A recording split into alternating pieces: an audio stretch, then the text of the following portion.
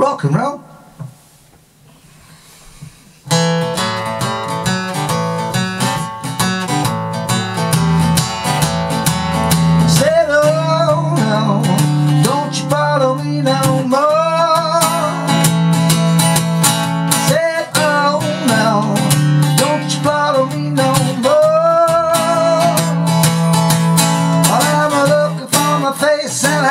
No, don't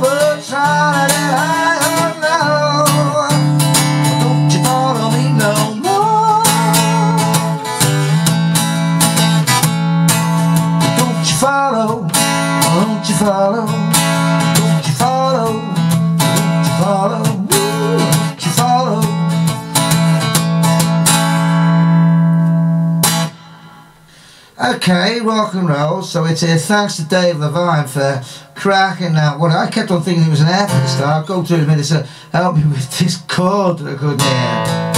So uh, A. Oh right. Well, it is a D7, and it's got that, it's got that F in it. I heard an F. I did. Oh no, don't follow me no more. Thought it was a straight F. Oh It's. It's a D7 with a run up a bluesy. So you got to do that over the D7. So. And he also sings the E note, so it's like, oh no. They play a D7 like a C7, a C7 shape. With the E ringing. You do that.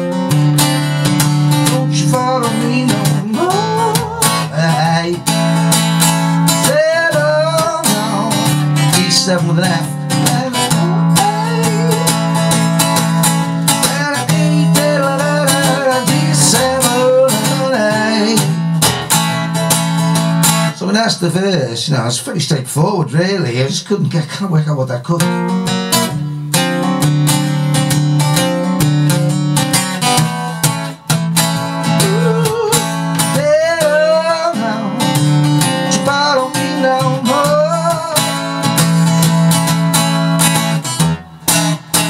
Seventy-seven,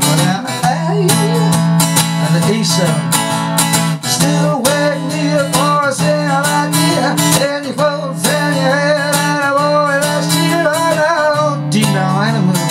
girl.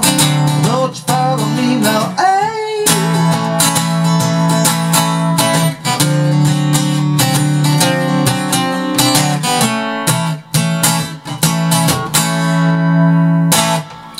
So there we go, rock and roll.